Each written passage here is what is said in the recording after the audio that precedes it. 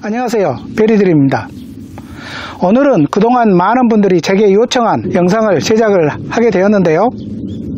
그것은 바로 블루베리 화분 분갈이 하는 방법입니다. 블루베리 농장을 하다 보면 묘목을 식재하여 몇 년 동안 키우다가 나무가 자라서 화분을 분갈이 해야 하는데요. 올바른 화분 분갈이 방법을 실습을 통해 알아보겠습니다 화분 분갈이 작업에 필요한 다섯 가지 준비물을 한번 알아볼까요?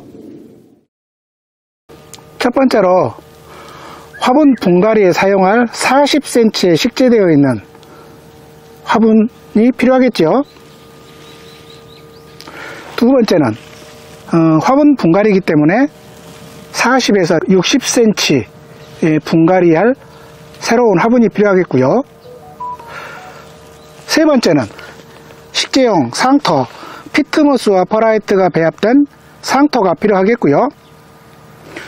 네 번째는 멀칭용으로 사용할 소나무, 유기물이 필요하겠으며 다섯 번째는 이러한 조그만 칼이 필요하겠습니다. 이렇게 다섯 가지를 준비하시면 되는데요.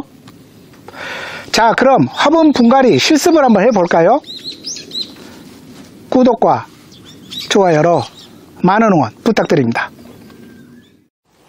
첫 번째로 분갈이를 할 묘목입니다.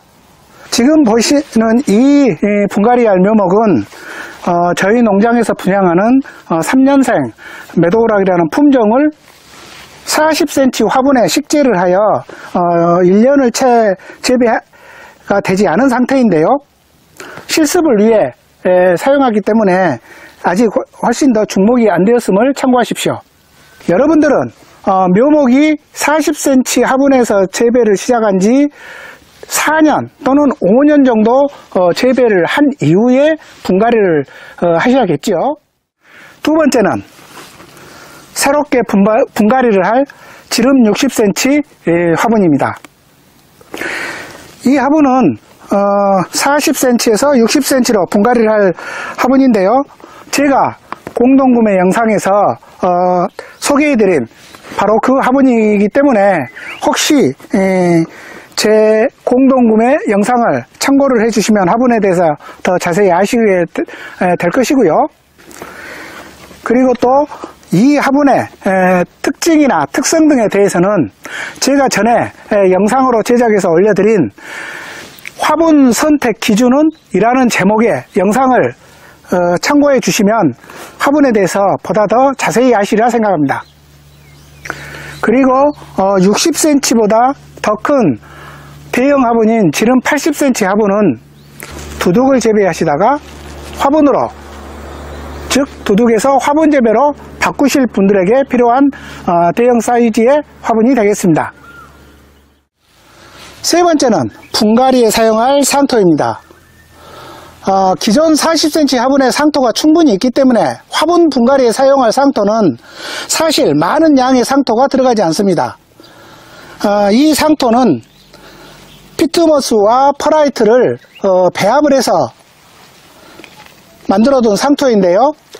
피트머스 250리터 한 포에 퍼라이트 50리터를 배합하시면 되고요. 또는 피트머스 250리터 두 포에 100리터들이 퍼라이트 한 포를 배합하시면 배합 용량이 되겠습니다. 여기서 정말 중요한 것은 아직도 많은 분들이 피트머스 등 구입 비용을 아끼려고 상토에 왕겨 등 또 그리고 톱밥 이와 같은 어, 재료들을 혼합해 사용을 하시는데 상토를 만들 때 절대 여러 가지 물질을 사용하지 마시기 바랍니다. 어, 왕겨 등을 사용하면 안 되는 이유 등에 대해서는 제가 예전 영상에서 정말 수차례 말씀을 어, 드려서 여기서는 생략을 하겠습니다. 약간의 돈을 아끼려다가 식재 후 몇 년이 지나서 어, 나무에 피해를 줄 수도 있기 때문에 앞으로는 상토를 만들 때 왕겨 등 이물질을 넣지 마시고 방금 알려드린 피트머스와 퍼라이트 의 정정한 배합 비율로 배합을 하셔서 상토를 사용하시기 바랍니다. 네 번째는 칼입니다. 어, 조그만 이 칼은 분갈이를 할 때 분갈이할 어, 화분을 절단을 할 때 사용할 칼이 되겠습니다. 다섯 번째는 멀칭용 소나무 유기물입니다. 여기서 제가 여러분들에게 정말 부탁드리고 싶은 것은 제가 예전 유기물에 대한 영상에서 알려드린 대로 소나무 유기물은 일반 어, 제조물처럼 판매처가 어, 정해져 있지 않기 때문에 제가 모든 지역별 판매처를 알지 못하기 때문에 유기물 판매처까지는 제게 문의해 주시 마시기 바랍니다. 소나무 유기물은 야산에 떨어진 이와 같은 어, 솔잎도 정말 좋은 어, 재료임을 참고하시고요. 준비된 유기물은 분갈이를 하고 나서 화분 어, 상단에 덮어주는 멀칭 용도로 필요합니다. 이상과 같이 모든 준비물이 준비되었습니다. 자 그러면 직접 분갈이를 한번 해볼까요?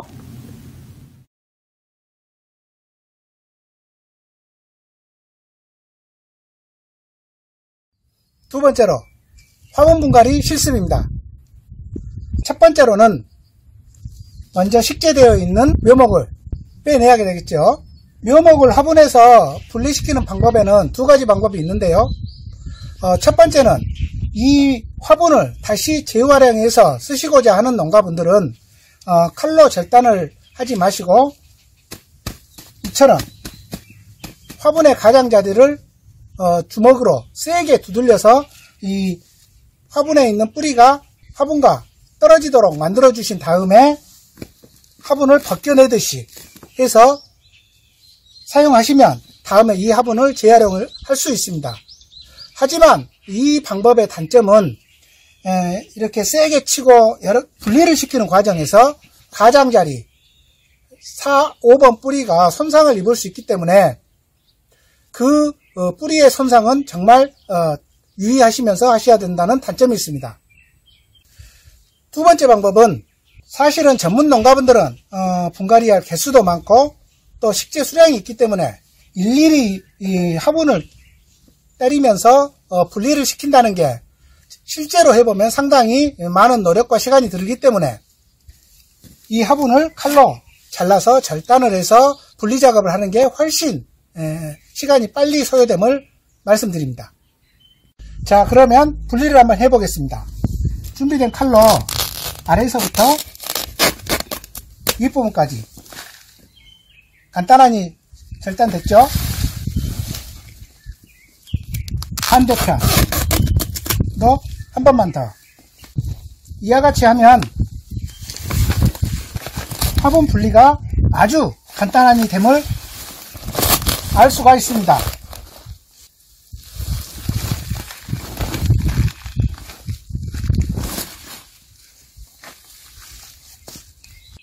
이렇게 분리가 아주 간단히 되었죠. 그러면 두 번째는 이와 같이 분리된 어, 나무를 준비하신 60cm 화분에 식재를 해야 되겠죠.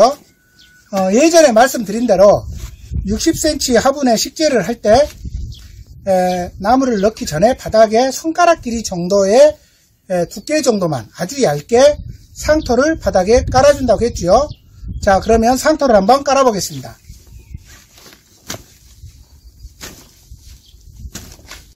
이때 정말 주의하실 것은 먼저 흙을 채워놓은 다음에 구덩이를 파듯이 파서 어, 나무를 식재하면 안 된다고 예전에 제가 말씀드렸죠. 반드시 식재할 화분에 바닥에 상토를 아주 얇게 얇은 정도만 어, 깔아둔 다음에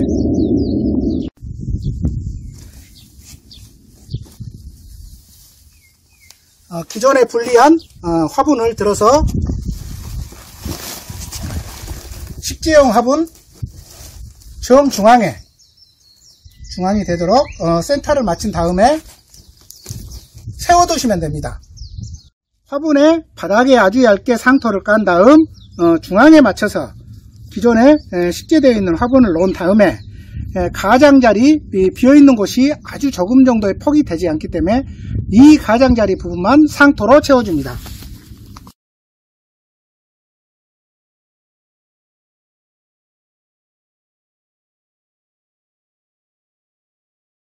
이렇게 가운데가 아닌 가장자리에 상토를 덮어주면 됩니다. 이와 같이 가장자리에 전체적으로 상토를 부었습니다.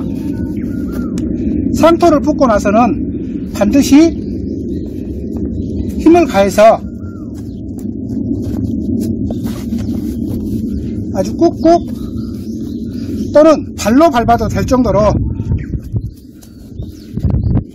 기존의 흙과 새로 부어진 상토가 잘 융합이 될 수 있도록 눌러줍니다. 상토가 채워졌으니 다음으로는 어, 유기물을 채워야겠지요.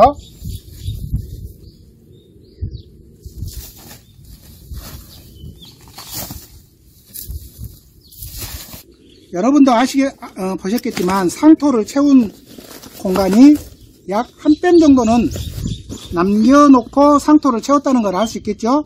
어, 그 이유는 유기물을 덮기 위함입니다. 만약 여기서 유기물을 못 구하셨다면 이 나머지 유기물 어, 채우는 공간까지 상토를 덮어주시면 됩니다. 이와 같이 남겨두었던 빈 공간에 준비하신 유기물을 충분히 덮어주면 됩니다.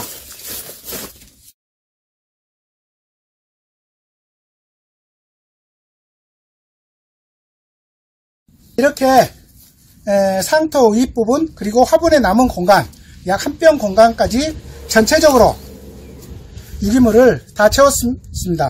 이로써 묘목 분갈이는 끝이 났습니다. 분갈이가 사실 어, 렵고 복잡하거나 시간이 많이 걸리는 작업은 아닙니다. 여기서 어, 다시 한번 말씀을 드리는데 어, 많은 분들이 유기물을 구하지 못해서 멀칭을 하지 못하게 되면 아주 어, 큰일이 나는 것처럼 생각을 하시는데 유기물이 구할 수 있어서 유기물을 사용하시면 좋다는 것이지 유기물이 없으면 어, 식재 또는 분갈이가 안 된다는 게 절대 아닙니다. 만약 유기물을 구하지 못하신 분들은 조금 전 한 뼘 유기물을 채우기 위해서 남겨둔 한 뼘 정도까지를 상토로 채워주시면 됩니다. 어, 그렇게 했다고 해서 나무를 키우거나 또 과일의 품질을 어, 좋게 하는데 물론 약간의 차이는 있, 지만 엄청난 어, 피부로 실감할 정도의 많은 차이가 없기 때문에 너무 어, 걱정을 안 하셔도 될 것 같습니다.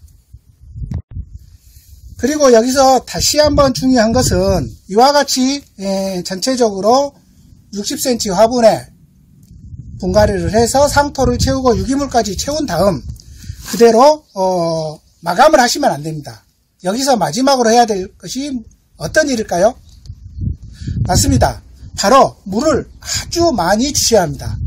물을 주시라고 하면 관수를 생각을 하시는데 어, 식재를 했거나 분갈이를 했을 때는 관수의 개념이 아니고 흙 속에 남아있는 공기를 빼주는 어, 그 목적으로 하기 때문에 관수가 아닌 물을 아주 호수, 물 호수 같은 것을 이용을 해서 아주 충분히 많이 그래서 화분 밖으로 물이 아주 철철 넘치도록 물을 흠뻑 주시는 게 정말 중요합니다.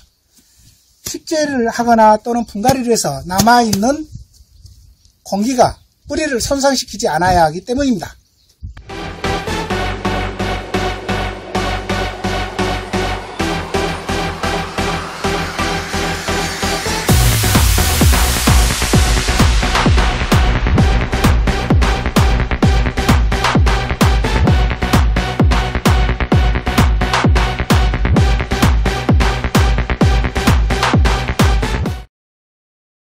이상 오늘은 블루베리 화분 분갈이 많은 분들이 예, 우려하시고 어, 걱정하셨던 화분 분갈이를 올바르게 하는 방법에 대해 알아보았습니다.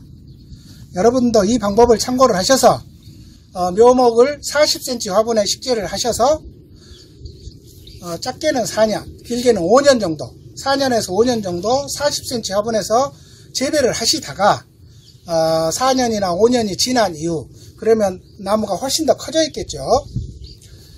그 나무를 이와 같은 60cm 화분을 이용해서 분갈이를 하시면 블루베리 재배의 분갈이는 모두 완성이 되었습니다. 구독과 좋아요로 많은 응원 부탁드립니다. 감사합니다.